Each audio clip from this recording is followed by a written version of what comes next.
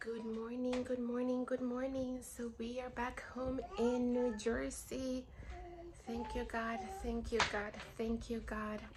Okay, so um, I later on will be talking about the reason why we went to the Dominican Republic, and we are so grateful to God because God helped us throughout the entire way, and God is we're so grateful to God.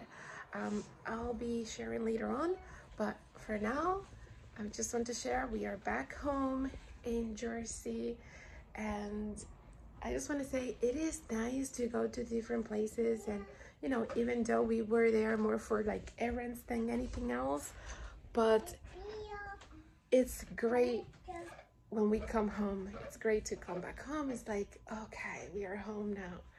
Um, so and yeah so that's what i wanted to share for now but um yeah i'll i'll be explaining more in detail later on the reason why we went to the dominican republic.